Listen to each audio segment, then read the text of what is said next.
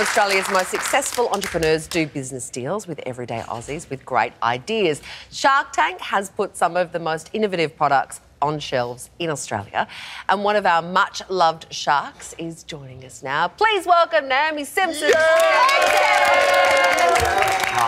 Red Shark. Gee, it's been a big season of Shark Tank, hasn't it? It's been a massive season. We've had a theme though. Yeah. Y- You know, every year we kind of get a, a batch or everybody's really trying to do something. And this year it is all about the environment. You know, there's been lots of people pitching and they're saying, I'm going to save the planet. Isn't that interesting? And what I really like the advice that um, Steve likes to give. Oh, do you? Um, well, I always love it when I Oh, come on and people go, oh, my favourite shark is Steve. No, no, no. My parents came on set. They go, oh, hi, Steve, we love you. You're our favourite. I say, really? And you two, have, you two have been quite argy-bargy with Well- each other, which is brilliant. I love Naomi. How hilarious was that? Um, but actually, you've said it as well that people go into business thinking that they're running a charity, but they're actually not. And the advice they get time and time again is.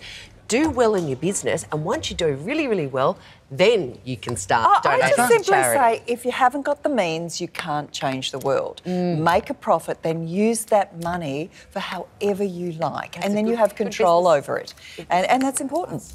Now, Naomi, um, speaking of Steve, in tonight's finale, something that has never actually happened before on Shark Tank happens. You and Steve do. Uh, that's a That's deal, right. by the way. That's Oh not God. what you think. God, that's repulsive. You do- you no, do- we get up there, Do you and it's the first time you've ever? I don't actually in? get out of my chair and feel like biffing him. But um, Is it with you too? The, th- the thing is, we just see the world differently. I Mm. have a great deal of respect for him, but he doesn't like being interrupted. And if, if you know, if I can't get my point across, then you know, I'm just sitting there. So he, he likes to, and he likes to be in there first and have his opinion. And then is if he a I'm mansplainer? a little like that, Is, is he Joe Hildebrand? There's nothing.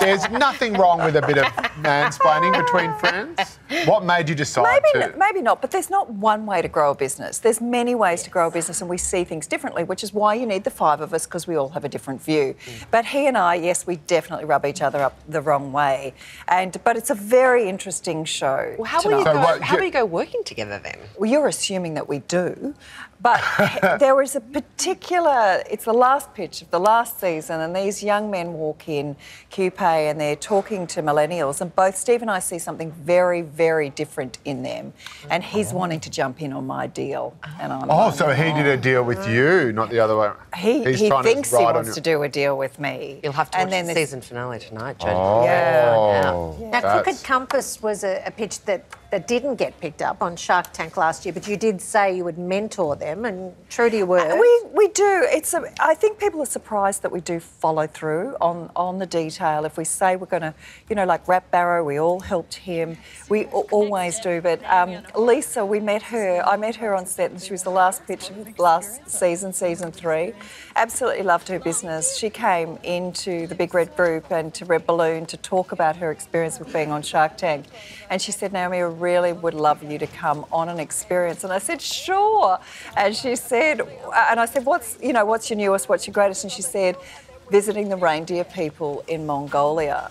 And then for 10 months, I was in a whole world of fear about getting, you know, not just three flights, but um, then getting in these four wheel drives and uh, then on horses to meet this nomadic tribe. And we were there for.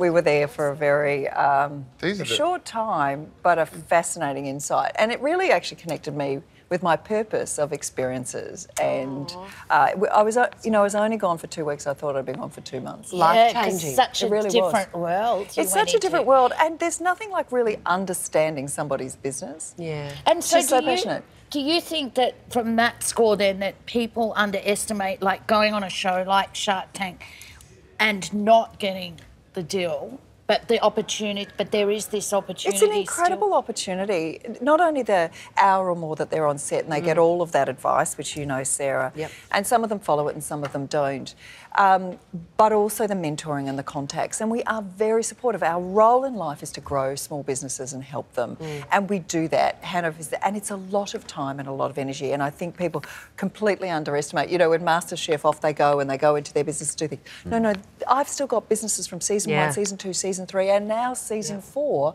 that I'm all nurturing. In fact, I'm hosting a table at the um, MAPS, the Melbourne Accelerator Program of my Shark Tank businesses uh, in Melbourne tomorrow night. You know, I'm just going to bring them all Nice. together. So, Well, like the- the capitalist Earth Mother. right, oh, get them all in a group, a little community hug. Now, the, uh, the grand finale of season four of Shark Tank is on tonight at 9 pm on both the 10 and Win networks. Naomi Simson, it's always joy having you on our Thank panel. you so much, Come back and Rosie. visit us anytime. Thank you.